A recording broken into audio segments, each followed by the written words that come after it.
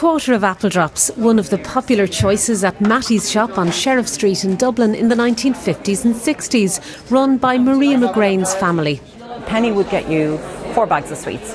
So um, you, you, could get uh, six dolly mixtures, six jelly babies, jelly beans, there was penny bars. My father was unbelievably patient and also it was a place where all of the, the people in the area would come in and they would communicate and tell what stories had happened the night before or all what the local gossip was.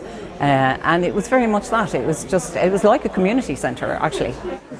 One of the highlights of this exhibition is a collection of notes sent by customers and kept by Maria's father Noel, ordering chocolate, drinks, or even returning some carrots. They're an absolute treasure trove that he kept these notes and the, just the information in them that people have. Uh, can you give me two love books? What were love books? Were they Mills and Boons? Were they some sort of a magazine? They're just so revelatory and they will stimulate so many conversations. Mattie's shop is now gone, but an exhibition opening today at the CHQ building just around the corner from Sheriff Street includes photographs of locals who remember the shop and will bring back plenty of memories.